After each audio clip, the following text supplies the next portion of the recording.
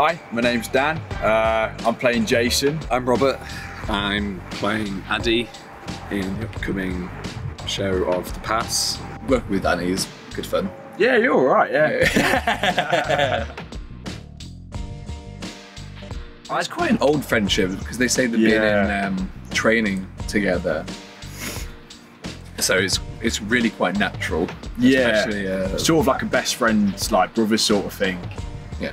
Um, that's how it. I think that's how it is. But then obviously, you know, once you're in the hotel room, just those two, more things happen. Yeah, there's a lot of just general Yeah. banter between lads. Yeah, yeah. Um, Stuff like that can get quite confusing about. I think, you know, yeah, it's a bit interesting insight of how two guys, what what they talk about when they're alone together.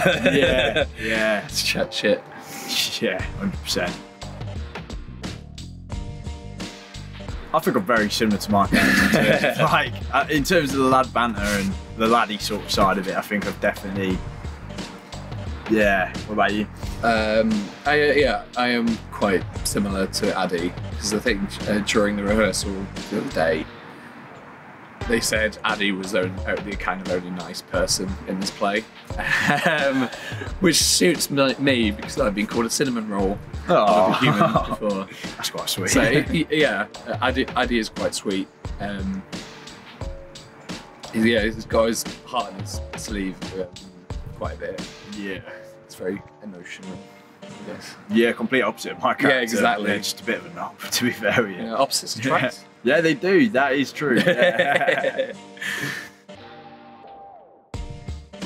Biggest challenge.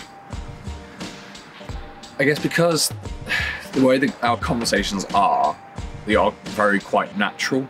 yeah. So I imagine um, once everything's learnt and whatnot, it would be quite difficult to know exactly um, the structure of some of our conversations because it's just like line, line, line, line, line, line. Yeah, I know. I do know what you mean. Yeah, there's a lot of lines that are quite similar. It could get quite confusing. Yeah, that and because it's set in just a hotel room um, of movement, it has to be natural, but it's also can't be like really choreographed at times.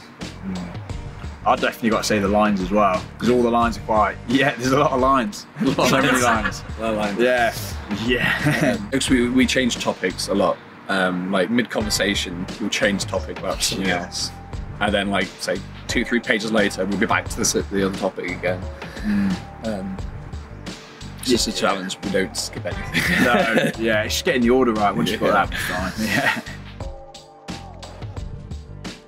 Yeah, I think I think the play's got great, uh, got great heart. It's a great cast behind it, great direction as well.